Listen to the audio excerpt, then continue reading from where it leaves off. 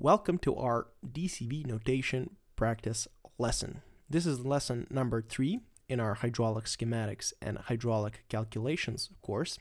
And it's going to be a quick and brief practice uh, to make sure you know how to read the numbers in directional control valves. Uh, so let's start the practice. So here we have five directional control valves and we are going to analyze them together. So in our last lesson, we said that directional control valves are marked with two numbers, x slash y, in this format. x being the number of ports a directional valve has, and y being the number of positions the directional control valve has. Okay, so the first DCV is fairly simple. We see that we have two positions. So we have two squares. This is square number one, this is square number two. And we also have two ports, ports number two and port number three. On the left neutral position, we have two closed ports.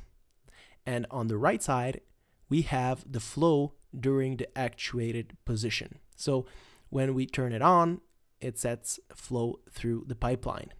So this is going to be a 2 slash 2-way valve because it has two ports and two positions.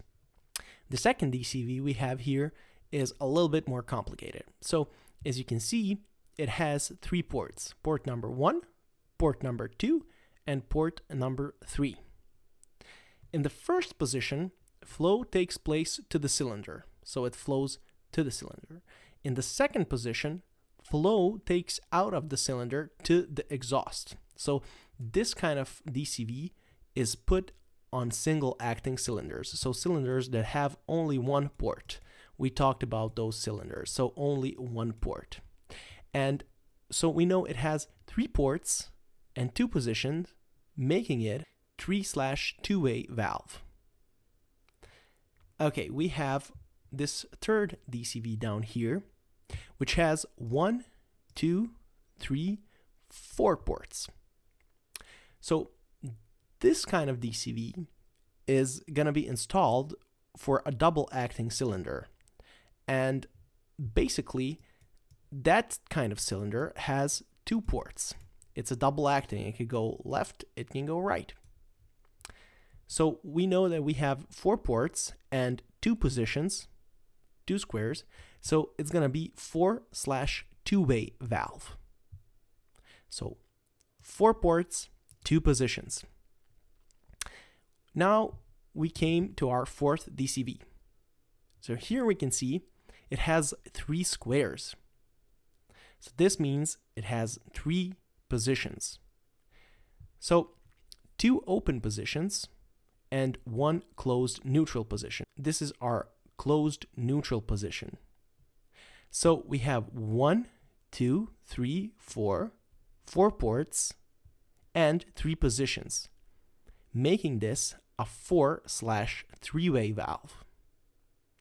And the last one has two open positions with two exhaust ports.